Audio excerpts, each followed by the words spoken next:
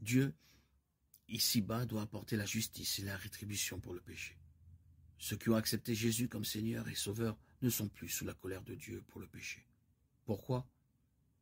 Parce que Jésus a fait l'expérience de la pleine mesure de la colère de Dieu sur la croix, afin que nous n'ayons pas à le faire. C'est ce que l'on entend par la mort de Jésus, comme étant une propitiation. Il n'y a donc maintenant qu'une condamnation pour ceux qui sont en Jésus-Christ, car la loi de l'Esprit vivifiant en Jésus-Christ vous a affranchi de la loi du péché et de la mort car chose impossible à la loi parce que la chair la rendait sans force.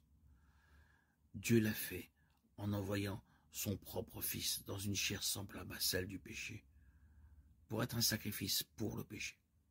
Il a ainsi condamné le péché dans la chair, afin que la justice de la loi fût accomplie en nous, qui vivons non selon la chair, mais selon l'esprit. Romains 8, 1, 4. Il n'y a donc Maintenant, aucune condamnation pour ceux qui sont en Jésus-Christ. En effet, la loi de l'esprit de vie m'a affranchi de la loi du péché et de la mort en Jésus-Christ. Car ce que la loi ne pouvait faire, la chair ne le permettrait pas. Dieu a condamné le péché dans la chair en envoyant à cause du péché son propre Fils dans une chair semblable à celle du péché, afin que la justice de la loi fût accomplie en nous, qui marchons non selon la chair, mais selon l'esprit.